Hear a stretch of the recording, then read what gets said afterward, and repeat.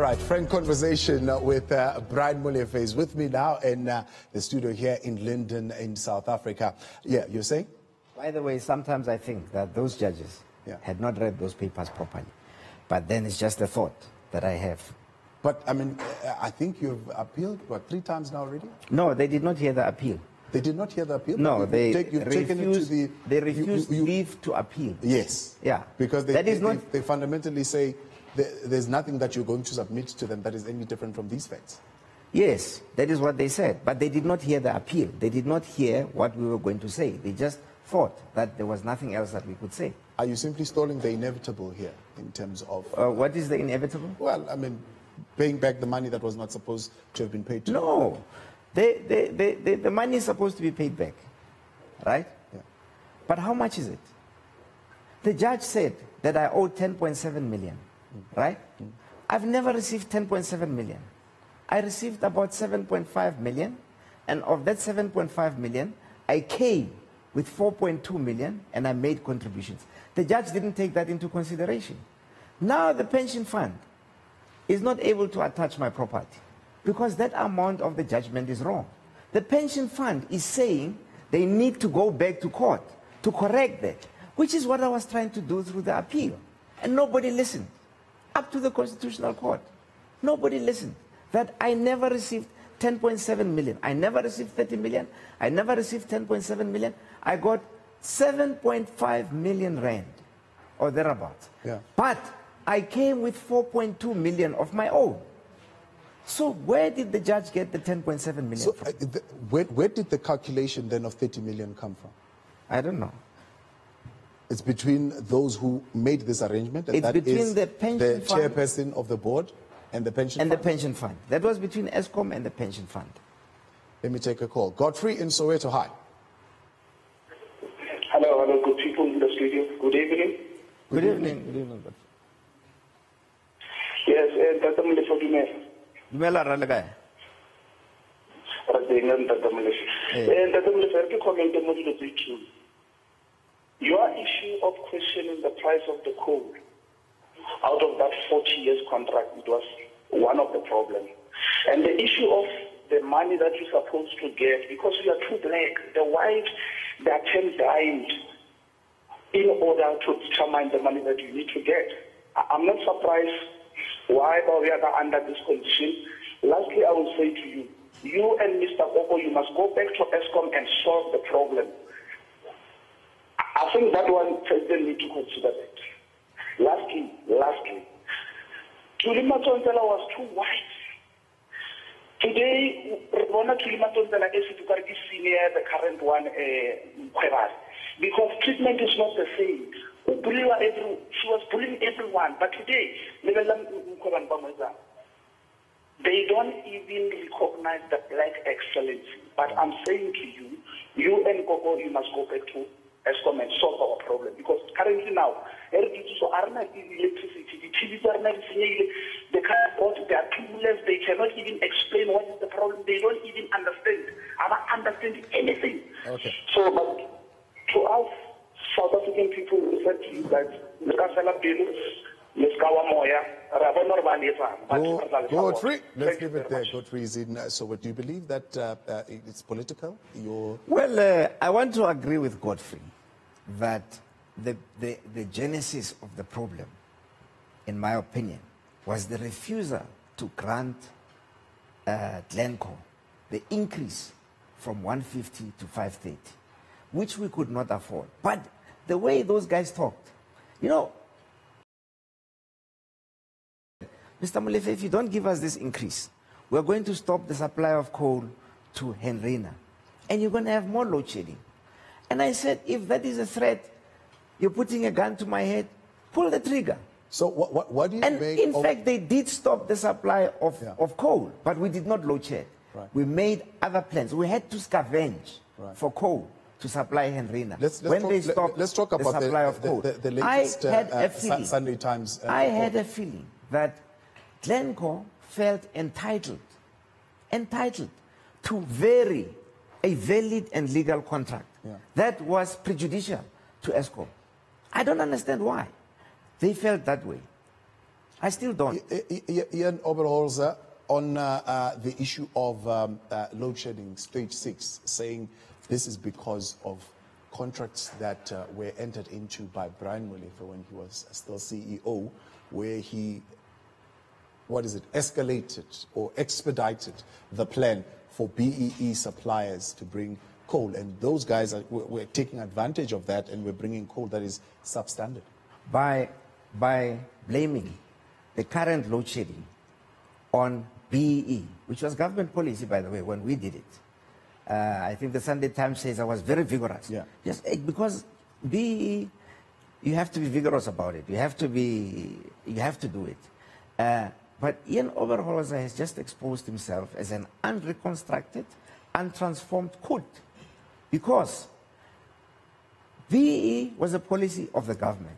If three years later he has those contracts and those people are not delivering the correct quality of coal, he's supposed to tell them that you're not delivering the correct quality, to put them on terms and even to fire them.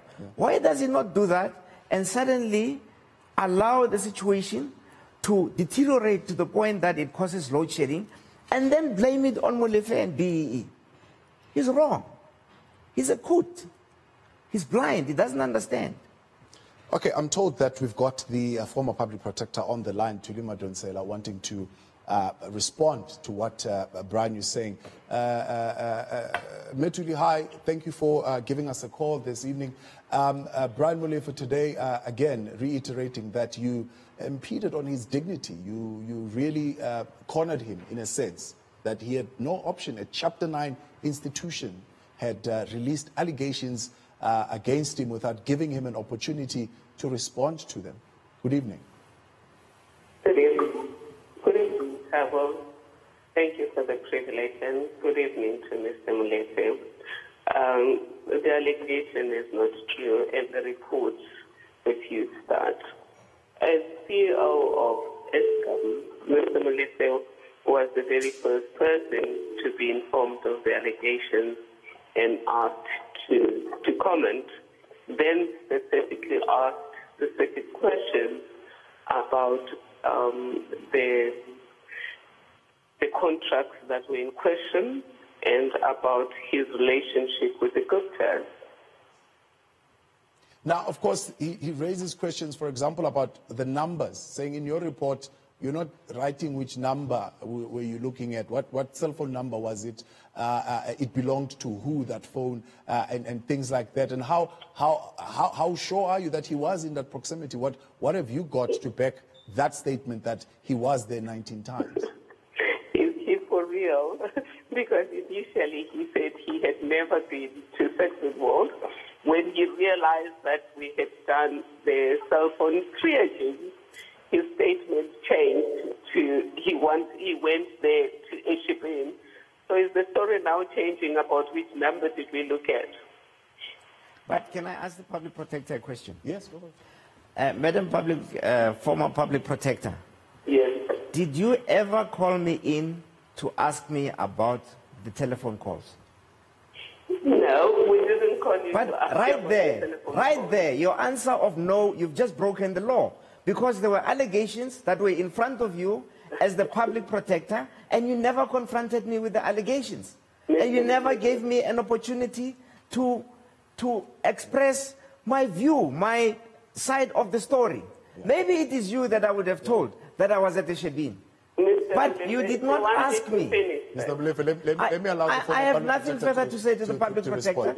She just said No, she did not no, confront me with it. Okay, with- let- with- let- me allow you to the, respond. The Public Protector Act is very clear. Yeah.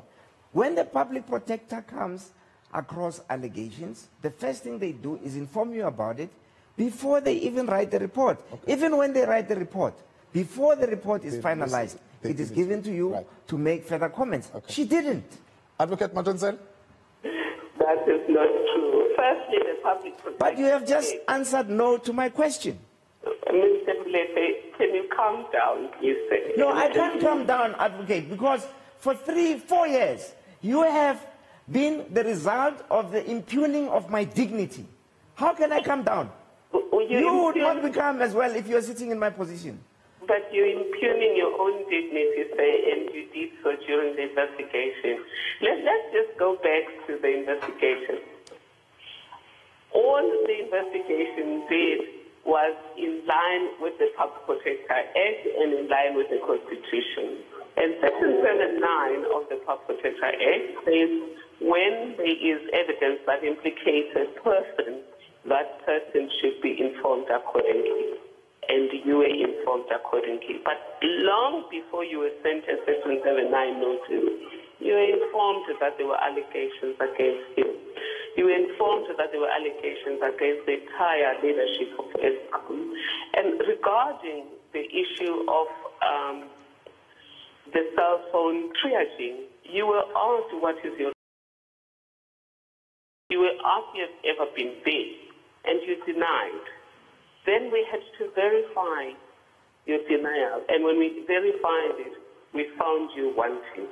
No, no I, I, have, I have never denied knowing the Guptas, and I've never denied having been to their house. Yeah.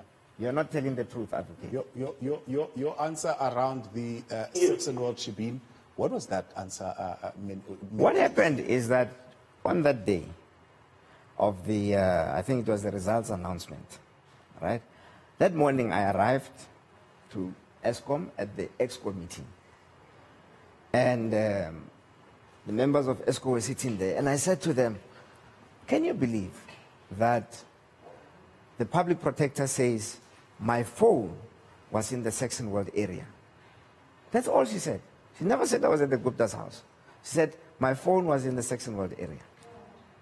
Now, I have not been told how I'm going to ask for details of that allegation that I was in the Saxonwold area, what I had been doing, whether there are phones that were tapped, whether there were conversations that were tapped, and so on and so forth. So one man in the, in the, in the meeting, Mr. Chaucer said, yeah, but you know, if it was my phone, it would have been more because there's a Shebeen there. Later on, during the press conference, I said, you know, the public protector says I was in the Saxonwold area. And Chaucer says there's a Shebeen there. How does a public protector know that I was maybe at that Shebeen? Do you know the Sunday Times had to retract the statement that says I said I was at the Shebeen? Mm. Because Judge Mwebe, the press ombudsman, ruled that I never said so. Right. So you never said you were at the And I didn't say I was at the Shebeen. Yeah, you said somebody... I said, Joseph says there's a Shebeen there. Right. So you could have been there. And you said, so you were afraid to tell your yeah, young wife I, I even the said, you frequented the I even said in that, uh, in that uh, press statement, yeah. I mean, press conference, that every day when I travel home to. Pretoria, yeah.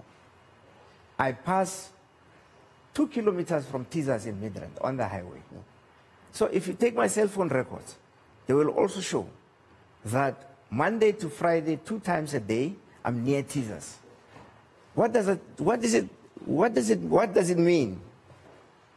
Let's because that was the quality of the evidence. Let's take a break. We'll continue with uh, Brian Molefe after this and take uh, some of your calls as well. We invite you uh, to uh, give us a call uh, so that uh, we can, of course, try and get some of your views on this. We'll get your headlines as well as get to those calls. You're on Your View with News of Africa, Channel 405. Do stay with us.